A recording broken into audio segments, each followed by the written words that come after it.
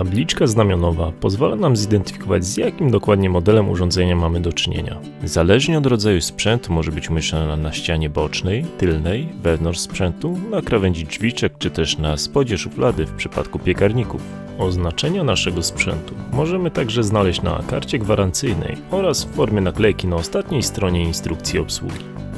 W naszym przypadku najważniejszy jest numer serwisowy zaczynający się od 85. Podanie niekompletnych danych obarczone jest ryzykiem, że dana część nie będzie pasować do naszego modelu.